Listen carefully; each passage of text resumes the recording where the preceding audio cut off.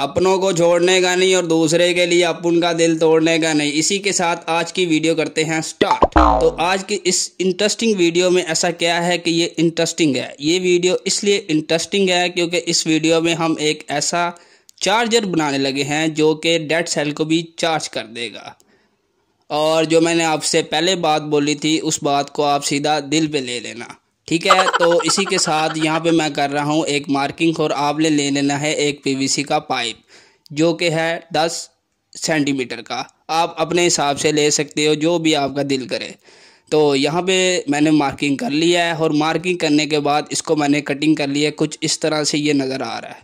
और next step में हम क्या करेंगे, एक पीवीसी के पाइप के कुछ पीसेस कट कर लेंगे, जिसको हम एक यहाँ पर एक यहाँ पर और एक एक्स्ट्रा पीस कट करके मैं यहाँ पे लगाऊँगा।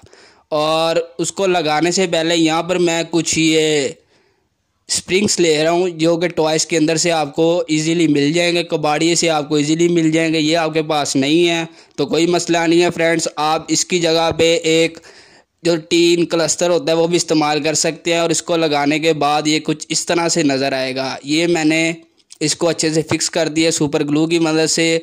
और इन सब की वायर्स मैंने यहाँ से साइड से निकाल दी, जो कि ये है। और इनके जो सारे कनेक्शन है, वो सारे सीरीज़ में हुए हैं, पैरेलल में नहीं हुए हैं। सीरीज़ से मुराद है कि प्लस की वायर, प्लस के साथ, माइनस की वायर, माइनस के साथ। और ये जो दो वायर्स हैं, इन दोनों वायर्स को मैं जोड़ दूँगा कुछ इस तरीके से, और इस तरीके से जोड़ने के बाद ये कुछ इस तरह से नज़र आएगा। जो स्प्रिंग वाली है, वो हमारी प्लस पॉइंट है, और जिस पे स्प्रिंग नहीं है, वो हमारी माइनस पॉइंट है। तो फ्रेंड्स इस टाइम में मामला थोड़ा सा सीरियस है, क्योंकि सीरियस इसलिए है क्योंकि हमने कनेक्शन भी तो सीरियस में की है ना। तो ये मैंने यहाँ पर एक छोटा सा एलईडी बल्ब ले लिया है और इसके नीचे लगा दिया वन के का रजिस्टर और इसके नीचे प्लस की वायर है और साइड में माइनस की और इसी तरह ही दूसरा और आपने इसी तरह ही वायरिंग करनी जिस तरह मैंने की है। कॉपी पेस्ट करना पूरा कंप्लीट तो करने के बाद नेक्स्ट टाइम में हम क्या करेंगे? तो फ्रेंड्स, यहाँ पे बनाया मैंने एक चार्जिंग सर्किट। इसके ऊपर एक मैंने कंप्लीट वीडियो बना के इस चैनल पे अपलोड की है। आपको ये आई बटन में नज़र आ रहा होगा, लेकिन इसको क्लिक मत करना। इसकी एक वजह है। जो इसमें बात है, वो उसमें नहीं है, जो उसमें बात है, वो इसमें नहीं है। इसके अंदर यूज़ हुआ है 330 ओहम का रजिस्टर और नीचे लगा है आई एन चार हज़ार सात का डायोड। फ्रेंड्स, इसकी जो रेड और ब्लैक वायर आपको नज़र आ रही है, वो इसकी मेन वायर है और जो व्हाइट वाली वायर है, वो इसकी बैटरी की माइनस वायर है और जो ग्रीन वायर है, वो बैटरी की प्लस वायर है। फ्रेंड्स, इसका आप स्क्रीनशॉट ले लें और इसका भी आपने कॉपी पेस्ट करना है और जिस वीडियो की मैं बात कर रहा था, वो आपको डिस्क्रिप्शन में उसका लिंक मिल जाएगा। और इस और इस और इस जगह पे हम तीन होल करेंगे। होल करने के बाद यहाँ पर हम वो एलईडी बल्ब और चार्जिंग सर्किट को फिक्स करेंगे और फिक्स करने के बाद ये कुछ इस तरह से आपको नज़र आएगा। फ्रेंड्स इसके जो पहले दो बल्ब आपको नज़र आ रहे हैं, इनकी वायर्स ये हैं, ये दो वायर्स और उसके बाद ये जो आपको लास्ट में बल्ब नज़र आ रहा है रेड कलर का, इनकी वायर्स ये हैं चार्जिंग सर्किट की और बाकी जो वायर्स हैं, वो बैटरी की वायर्स हैं, जहाँ पे हम लिथियम सेल को लगाएँगे और यहाँ पर मैं ले रहा हूँ माइक्रो यूएसबी कनेक्टर को, मेरे पास यही था, आपके पास जो भी है, वो आप वो इस्तेमाल कर सकते हो। तो यहाँ पर मैं क्या करूँगा कि इसको इस ढक्कन के ऊपर कुछ इस तरह से फिक्स करूँगा सुपर ग्लू की मदद से और इसके बैक पे मैं एक सुराख करूँगा जहाँ से इसकी वायर मैं बाहर निकाल सकूँ। तो इसको मैं फिक्स कर लेता हूँ। फिक्स करने के बाद ये कुछ इस तरह से आपको नज़र आएगा।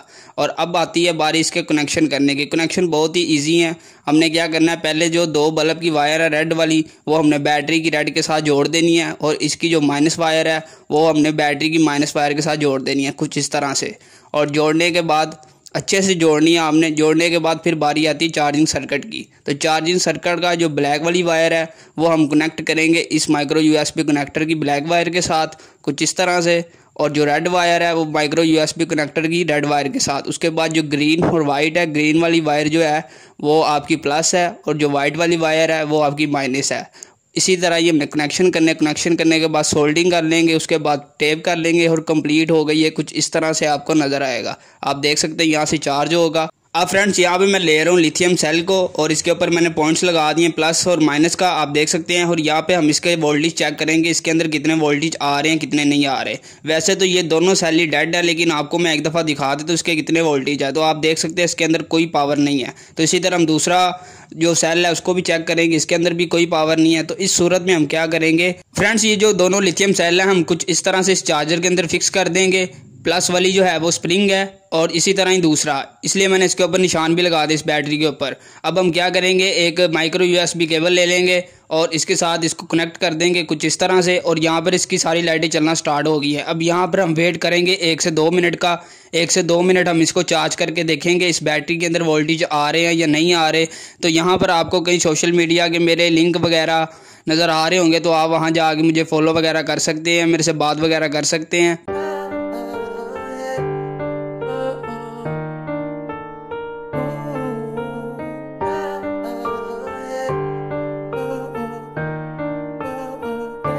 तो फ्रेंड्स इसको चार्ज करने के बाद दो मिनट इसको मैंने चार्ज किया है और चार्ज करने के बाद इसको हम डिस्कनेक्ट कर देंगे कुछ इस तरीके से। और उसके बाद ये जो लिथियम सेल आपको नज़र आ रहे हैं, इसको हम बाहर निकाल लेंगे। और बाहर निकालने के बाद हम इन दोनों सेलों के जो वोल्टेज है, वो आपको मैं दिखाऊँगा कि इसके वोल्टेज बड़े हैं या उतने के उतने ही हैं कि अभी भी ये डेड हैं। तो एक आप देख सकते हैं, एक एलईडी लाइट बंद हो गई है और दूसरी चल रही है। जब हम इसको निकालेंगे तो वो भी बंद हो जाएगी। तो आप देख सकते हैं, ये भी बंद हो चुकी है। तो अब हम क्या करेंगे, इसके वोल्टेज आपको मैं चेक करवाता हूँ, इसके वोल्टेज अब कितने बड़े हैं या उतने के उतने ही हैं। तो यहाँ पे मैंने वोल्ट मीटर को ट्वेंटी पे कर लिया है और अब मैं इसके दिखाता हूँ आपको वोल्ट तो यहाँ पर इसकी जो माइनस है, यहाँ पर माइनस लगा लेंगे और प्लस के आप देख सकते थ्री पॉइंट वोल्ट आए हैं।